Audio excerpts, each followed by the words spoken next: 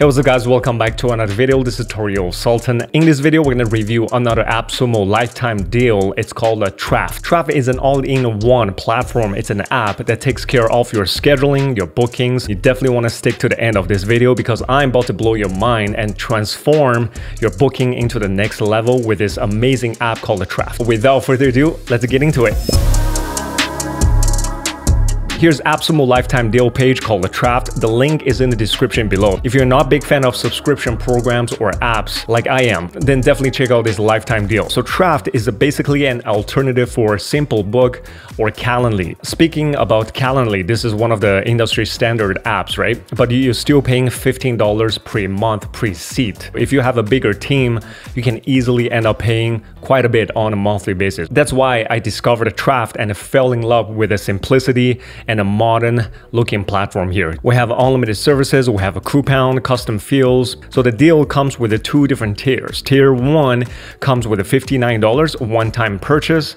It's a 40 different employees. If you don't have a bigger operation, less than 10 or 5 people, then definitely check out this tier 1. However, if you have a bigger operation or you plan to have a bigger operation, then you don't want to get capped down the road, then definitely check out tier 2, which gets you everything unlimited. And by the way, Trafft does offer free trial, Just in case you want to play around with it before you want to get into this lifetime deal, definitely go ahead and do so. Now, once you enter your email, your password, you're going to choose your business category. Company name, I just randomly put in Tario Coaching and then the URL here is a Tario Coaching as well.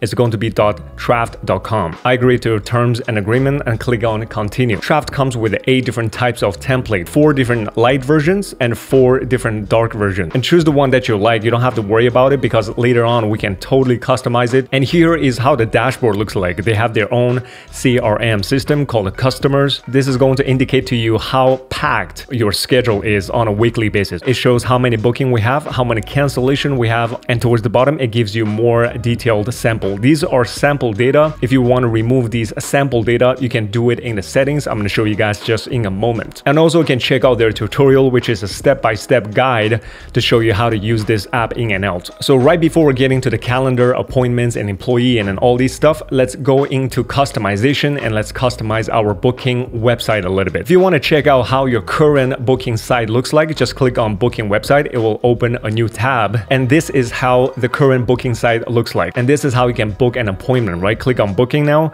You can either create an account. If I'm repeat customers, I can always have an account with you, or I can continue as a guest, pick the employee and choose the time. Like entire layout is super clean and very modern looking. And let's come back to the dashboard and now let's click on customize. In customization, we have five different settings we can go through. In case if you want to embed a booking form on your website or on a landing page, you can totally grab this embed code and just copy this code. You can insert a booking form as a HTML code and you can redirect them to a certain URL in case you have your own confirmation page designed, show time zone options for customers. And this totally depends if your business is a local area or it's international. If it's international, you definitely want to show them the time zone. However, if you're a local business, you probably want to turn this toggle option off. For account settings, in case if you want a mandatory to have an account with you, then you can toggle the second option.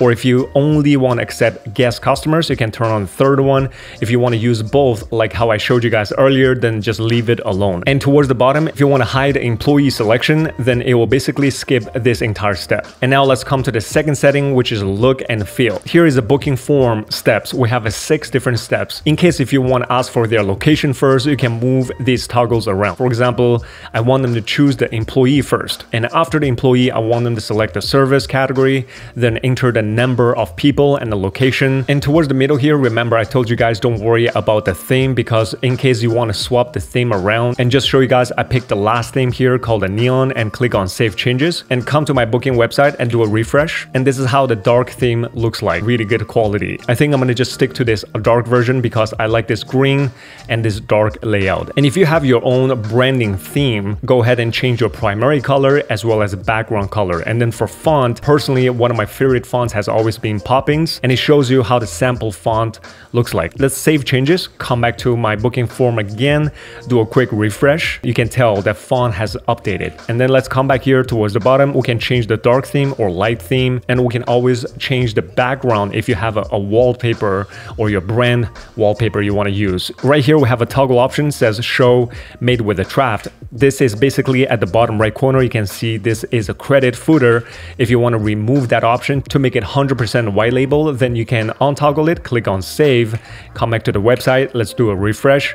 You can see that bottom footer is gone. And from there, you can add your own website logo and favicon. Now let's move on to the third option, which is language. You can choose a specific language in this dropdown and the entire system language will be updated accordingly. You can have your own labels. For example, if you don't want to call employee, you can enter your own word such as staff and click on save. The entire system will change that verbiage accordingly. And then the last option here is custom field. For example, imagine I want to capture this customer's birthday. Super easy, click on add custom field. In this case, since I want to capture a date, I'm going to go with the date picker. And from there, I added a label called birthday and a placeholder is your birthday. And from there, we have a size of this custom field. In this case, let's just go with a one to one. I want to display in a new role.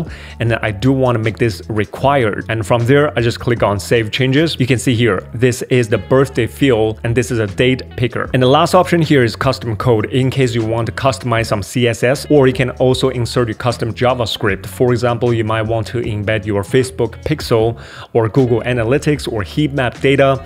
Then you can go ahead and enter your script here in this box. And remember, all these are sample data. If you want to remove all the sample data, come to customize, you want to delete examples. Let's quickly click on calendar. You can see if I click on sample employee here, here is all her bookings and you can individually check different employees calendar or you can click on all employee. This way it will display to you every calendar there is and then how many bookings in total. Let's move on to appointments. When someone books an appointment, you have the drop down option here to say if it's pending, canceled or rejected. And then from there, we can export all the booking data or we can also create a sharing link link. Basically, choose the category, the service, the employee, the location, and the date range. Click on create link and this is that specific link that's created. Let's come to incognito window. They can go ahead and pick the time right away and continue the booking because you have already narrowed down to the service and the staff. By the way, remember I changed the employee to staff. So you can see the verbiage has been changed from employee to staff. And then from there, we have customers. This is more like a CRM system built inside of this app. If I click on it, we can check really cool part here. It will display to you the favorite service. Again, it's all about building that relationship with the customer, right? And at the bottom here, you can view all the payments and you can check all the total payments that customers has been paid to your business. And from there, we have a services. You can create different categories and you can create different services underneath that specific category. And if I click on one of these services, let's quickly click on edit. And here is all the details about this service. For example, I want to uncheck this person. I only want to make myself available for this service. Then that's how you do so. You can set the duration and you also want to set a buffer time. So this buffer time is that break time, right? You don't want to have a back and back appointment booking. You always want to give yourself like 30 minutes window. Then you can check out this buffer time before and after. And from there, you can also enable deposit. For example, you want to take $50 non-refundable deposit, then you can ask for the deposit here. At the bottom here, you can enable recurring payment if you offer this service on a month-to-month -month basis and then save changes. That's all we need to do. And that's how you add the service, right? It's really simple and straightforward. In finance, we have four different options. First one is invoicing. Second one is settings. You don't want your customer to guess how many invoices or customers you've had, right? So my trick is add 0000, how many zero you want to add and add a one.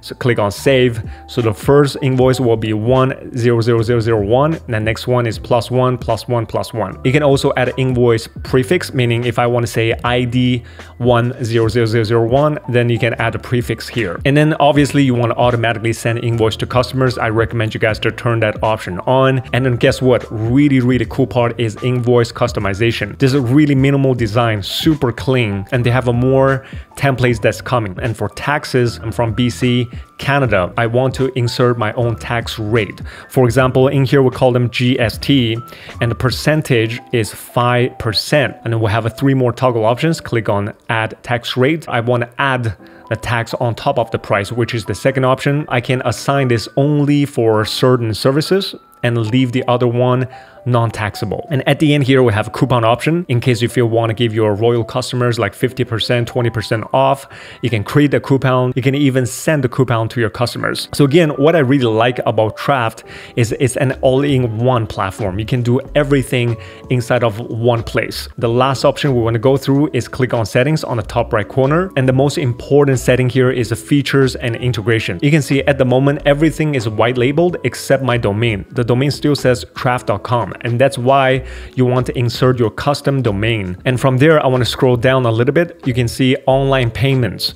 This is one of the most important configuration because you want to collect payments, right? For payment methods, we have a PayPal, we have a Stripe, we have authorized.net. If you want to collect your payment on site, you can always have this option toggled on and click on save changes.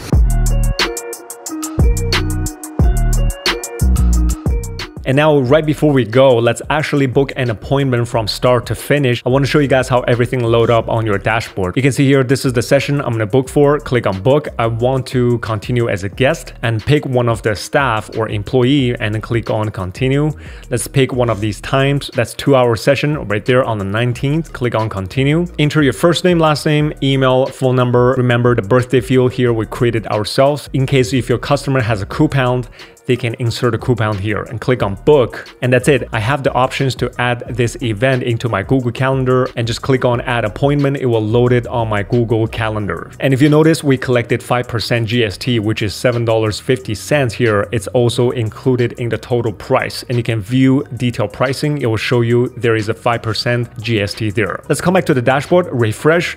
You can see we have generated 157.50 as a revenue. We have a one more appointment booked and towards the bottom here you can see it automatically approve the entire booking. Basically I'm all set. Click on it one more time you can see here is more about this appointment. We'll have a date and time, who is assigned to, the customer info, the payment, and the custom field which is the birthday that's stored here.